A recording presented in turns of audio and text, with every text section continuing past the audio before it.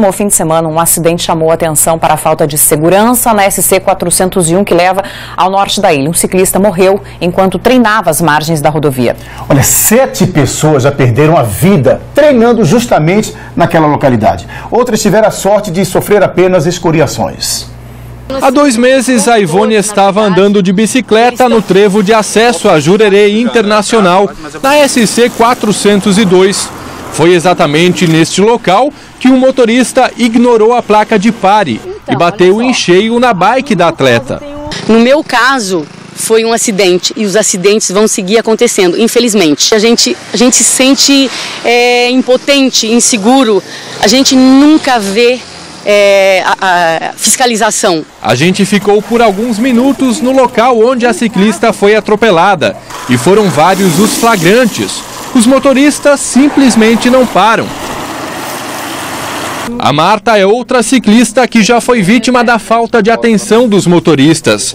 Ela foi atropelada no acostamento e literalmente voou para o meio da pista.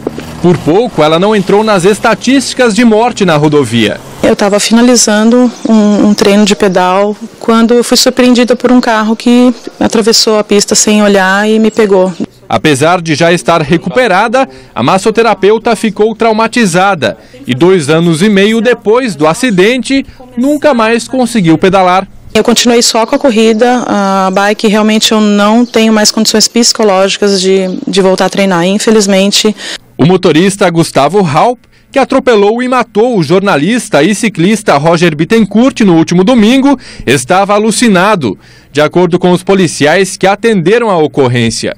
Eles encontraram maconha dentro do veículo. E é exatamente isso que mais incomoda os ciclistas. Eles reclamam que não tem fiscalização, principalmente em Jurerê, onde ficam as principais casas noturnas da cidade tem que é, fazer cumprir as leis, né, fiscalização nas, nessas casas noturnas que a gente tem por aqui, porque tem muito atleta treinando por aqui, e educação nas escolas tem que ter mais educação, começar desde pequeno, a orientar as crianças para que elas não, não se tornem adultos irresponsáveis, como a gente está vendo muito caso agora, né?